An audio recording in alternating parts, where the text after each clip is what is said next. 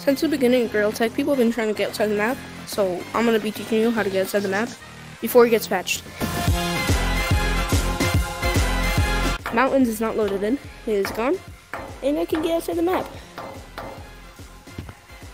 Look, oh, alright, so the, the glitch works basically by our AFK for a long period of time, and it will resend you to Stump, like mountains will be unloaded and you can get outside. Well, I should probably teach you how to do this, right? So here's how you do it. You go to your Oculus settings, you go to system, right?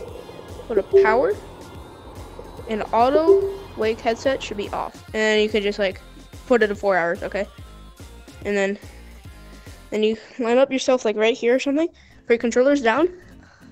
And then put your headset slightly in front of like behind like this or something. So then your con so your headset can see the controller. I'll see you on the other side. Yes! Let's go! I'm gonna test this on my friend when he joins, right? He's about to join. I'm gonna test it on see see if he if he good at the game or not. Fine, come come to mountains with me. Come with mountains with me. I'm gonna show you. I bet. You know that one glitch in mountains? Uh, you, you, no. Oh no! Oh.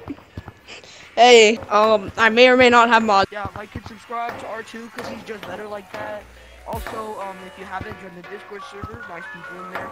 Um, if you know, um, comment your favorite type of bread, because you know, obviously bread is pretty good. Muffins count, and cupcakes, you know, they're kind of.